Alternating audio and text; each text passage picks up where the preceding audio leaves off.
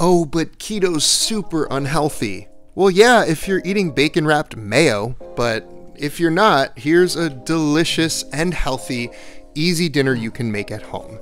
This is my one pot chicken pesto skillet, and I'll show you how to make it.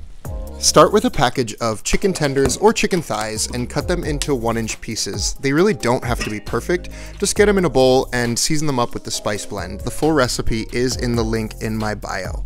Get a skillet over high heat with some avocado oil and we're gonna brown off that chicken. You want that nice golden crust because remember, color equals flavor.